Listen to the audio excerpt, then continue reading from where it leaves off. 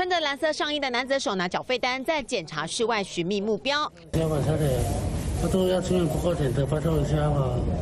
我要出院不过钱的，拜托一下，差七百元了，拜托一下。苦肉计出招，说要出院没钱缴，拜托拜托，但手上的缴费单日期露馅了。你这不是八月八号了吗？我我不给，我不靠钱了，拜托一下啦。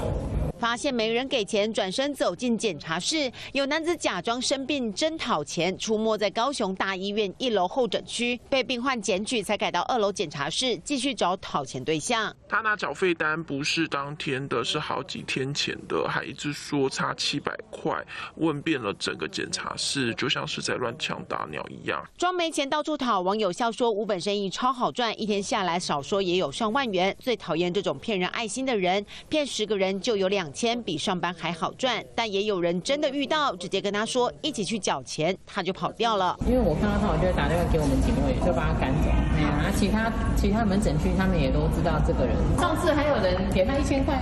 民众直击骗人讨钱的男子还不止一个，同样的套路在各大医院轮番出现，请民众特别注意，有爱心想帮忙也千万小心，不要被骗。记者高雄综合报道。